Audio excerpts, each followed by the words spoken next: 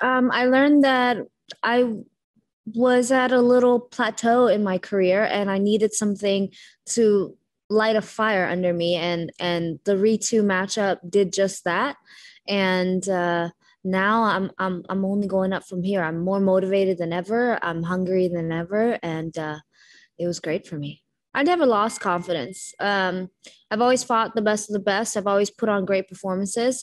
Uh, what the the victory over Ritu did for me was gave me momentum. I don't think that's the same thing as confidence. Um, I've always believed in myself. Always believed I, I was one of the best um, and could be the best one day. I just it was amazing for me emotionally and career wise as far as momentum of just giving me that drive again.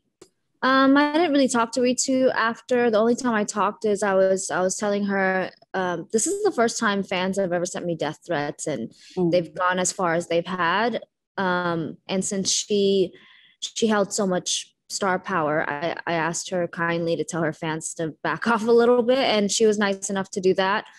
Um, but no, we haven't talked about it. But her believing she it being controversial one because she has a lot of fans you know so they're mm. they're quite emotional and biased but also it was a classic grappler versus striker and i just yeah. think i did more in the striking than did she did in her in her realm um but you know as a fighter i can understand why she thought she won as, as she should it's it was a mm. close decision um i just don't think any of these opinions take away uh, it's a lot of noise and a lot of opinions and uh, none of it takes away from my victory and none of it takes away from um, what i did